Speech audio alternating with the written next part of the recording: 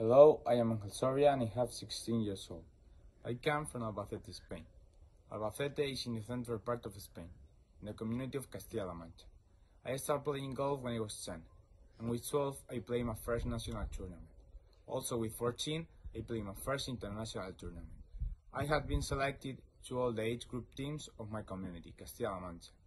And also I have been selected to form part these next two years of the national school Blume. I love golf and I train 25 hours per week and also I do 10 hours of physical training.